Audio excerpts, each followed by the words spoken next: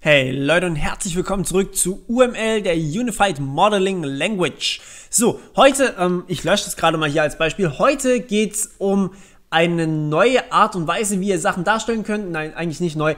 Ähm, es geht um reflexive Assoziation. Assoziationen hatten wir hier oben und zwar, wir hatten gesagt, ein Zuschauer hat eine Like-Liste von Videos, also eine Liste an Videos, die er geuploadet hat. So, ähm, was wir heute machen wollen, ist, wir wollen eine reflexive Assoziation zeigen. Ähm, ja, was bringt uns das? Das können wir uns vielleicht an einem Beispiel besser vorstellen. Denkt zurück an die Listen, die wir hatten und ja, jetzt haben wir hier nicht die Klasse Listen, sondern wir haben ein Listenelement. Ähm, das heißt tatsächlich nur ein einziges Element und ähm, ich hoffe, ihr wisst, wie Listen aufgebaut sind. Das heißt, dass ein Element auf das nächste verweist und so weiter und so fort. Und jetzt wisst ihr auch schon relativ genau, was ich vorhabe. Ähm, wie ihr wahrscheinlich euch noch erinnern könnt, ein Listenelement hat als Next-Element, das heißt sozusagen hier ein Next, und das hat auch wieder ein Listenelement. Solche reflexiven oder rekursiven Abhängigkeiten kann man auch in UML darstellen. Das heißt, mein nächstes Element ist gleichzeitig auch wieder ein Listenelement und so weiter und so fort. Und irgendwann ist es halt mal null. Und dann ist meine Liste eben zu Ende. Oder ich fange wieder von vorne an, dann habe ich eine zirkuläre Liste, aber das ist, hat jetzt nichts hiermit zu tun. Wie man das in UML darstellen kann, ist ziemlich cool, ähm, weil man hier einfach sagt, okay, ich habe einfach eine sogenannte reflexive Assoziation. Das bedeutet, ich kann hier einfach sagen, hey, ich fange hier an und ich packe das direkt wieder hierher. So, und jetzt muss ich das ein bisschen größer machen, sonst wird es hier ein bisschen eng und ihr könnt es nicht richtig lesen. So, okay, Ah, gut, das ist vielleicht ein bisschen zu groß. So, okay, was das jetzt bedeutet ist, wir haben hier ein Listenelement auf der Seite A und, äh, ja, Rolle 1, genau. Ähm, also man kann hier natürlich auch wieder die Richtung angeben. Ähm, man kann das ganze Ding auch bidirektional lassen. Und in unserem Fall machen wir das jetzt einfach mal. Wir lassen das so, wie es jetzt ist. Wir sagen 1 und 1. Und das Ding ist next von unserem, also ja, ich, ich mache das gerade mal hier kurz fertig und dann äh, sind wir eigentlich schon fast fertig. So, man braucht diese Richtung hier jetzt in dem Fall nicht und den Namen geben wir auch nicht an. So, das ist eigentlich alles, was wir hier für ein Listenelement brauchen.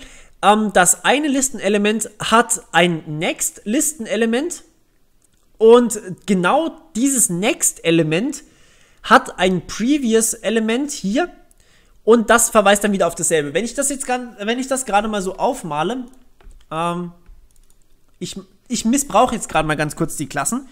Ähm, und da werden wir auch nächstes Mal noch da, Wobei, warum machen wir das eigentlich nächstes Mal? Wir sind erst bei drei Minuten. Heute geht es nicht nur um Listenelemente, äh, nicht nur um äh, reflexive Assoziation, sondern auch um konkrete Objektinstanzen. Die schreiben sich mit einem Doppelpunkt, was hier noch nicht mal, glaube ich, von dir unterstützt wird, ist aber nicht so schlimm. So, Listenelement Okay, und jetzt ein zweites Listenelement. Element 2. So, und jetzt wollen wir diese, diese Reflex, äh, reflexive Abhängigkeit hier mal zwischen den Elementen darstellen. Das bedeutet, wir haben hier tatsächlich, warum ist denn das groß geschrieben? Ähm, wir haben hier zwei Listenelemente, konkrete Instanzen davon. Das sind jetzt keine Klassen. Achtung, ganz, ganz wichtig. Das sind keine Klassen, das sind wirkliche Objekte, Objektinstanzen von diesem Listenelement. Also wirklich ein konkretes Listenelement und ein zweites konkretes Listenelement. So, und jetzt haben wir hier eine ganz normale Assoziation zwischen diesen beiden hier. Ähm, ja, und jetzt wird es schon wieder eng hier. Okay. Ähm, wir haben eine ganz konkrete Assoziation, nämlich von A nach B.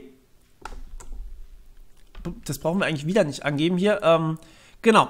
Wir haben hier Next mit Multiplizität 1 und wir haben hier Previous mit Multiplizität 1. Das heißt, mein ähm, Listenelement 1 hat ein, okay, das ist jetzt falsch rum gewesen, blöd.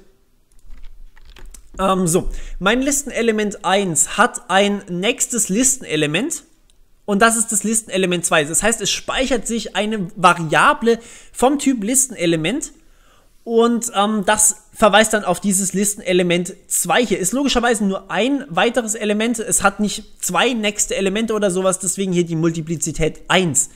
Und das Listenelement Nummer 2, also Element 2 hier, Ähm, das hat wiederum eine Variable previous und es ist auch genau ein Element und zwar sein genau, genau der Vorgänger. Das heißt, der Vorgänger von dem hier ist das Element 1 und der Nachfolger von Element 1 ist Listenelement Nummer 2. Das heißt, die haben eben so eine Abhängigkeit hier und das lässt sich super verallgemeinern, also über die Klasse. Das hier sind ja konkrete äh, ähm, Objektinstanzen und über die Klasse würde man das dann eben über so eine zirkuläre Abhängigkeit oder reflexive Assoziation darstellen. Das heißt, ähm, wenn es, wenn ein Element ein Next-Element hat, dann ist von diesem Next-Element das Previous-Element wieder das Element Nummer 1. Hört sich mega kompliziert an, aber wenn man sich das Ganze über, ähm, über Listen vorstellt, dann ist es super easy eigentlich.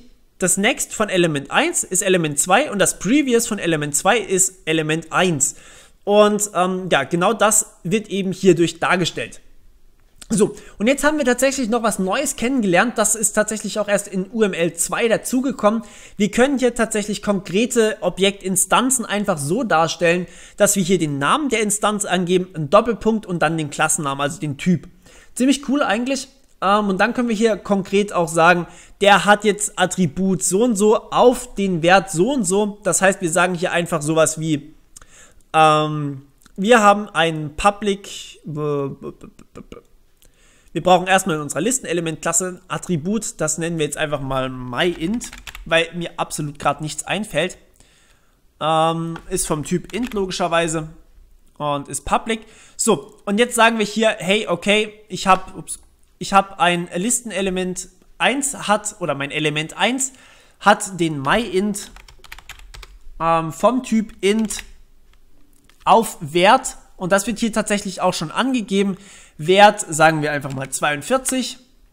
Das ist von mir aus, dass jetzt was gespeichert wird oder sowas, keine Ahnung. Ähm, und dann steht hier eben dieses gleich 42 direkt dabei. Und hier sagen wir, das Attribut myInt ist vom Typ int und hat den Wert 1337. So, perfekt. Und dann können wir hier direkt angeben, welche Elemente hier wie angegeben sind. Ähm, keine Ahnung, es macht vielleicht ein bisschen mehr Sinn für konkrete Videos, Videoinstanzen mit richtigen URLs und richtiger View, äh, Watchtime oder halt Länge ähm, und so weiter und so fort. Da könnt ihr dann auch konkrete Instanzen davon angeben. Muss man natürlich für sein Klassendiagramm sich überlegen, ob man das wirklich braucht. Ähm, aber normalerweise braucht ihr eigentlich sowas hier nicht. Aber zum eben hier verdeutlichen, wie dieses Listenelement ähm, hier modelliert wird, ist es vielleicht nicht schlecht, dachte ich mir mal. So, ähm, das sind eigentlich die Klassendiagramme in UML. Ähm, eigentlich so ziemlich das Wichtigste, was wir hier machen konnten. Es gibt vielleicht noch ein paar Kleinigkeiten, sowas wie Komponenten oder sowas. Da werden wir dann aber irgendwann später drauf zu sprechen kommen. Ich hoffe, es hat euch erstmal gefallen. Und ja, wir hören uns beim nächsten Mal. Vielleicht haben wir da, dann geht es mit UML noch weiter und wir machen gleich weiter mit dem nächsten Diagrammtyp. Vielleicht mache ich auch was anderes, mal gucken. Muss ich mal schauen. Okay.